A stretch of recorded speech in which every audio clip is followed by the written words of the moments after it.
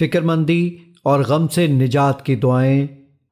اللهم إني عبدك وابن عبدك وابن أمتك ناصيتي بيدك ماض في حكمك عدل في قضائك أسألك بكل اسم هو لك سميت به نفسك أو أنزلته في كتابك أو علمته أحدا من خلقك أو استأثرت به في علم الغيب عندك، أن تجعل القرآن ربيع قلبي ونور صدري وجلاء حزني وذهاب همي. اے اللہ، یقیناً میں تیرا بندہ ہوں اور تیرے ہی بندے اور تیری ہی کنیز کا بیٹا ہوں۔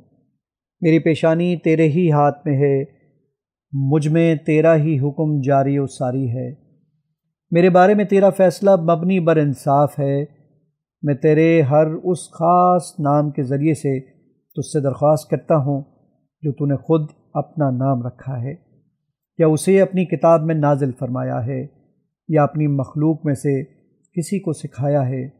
یا تو نے اسے علم غیب میں اپنے پاس رکھنے کو خاص کیا ہے؟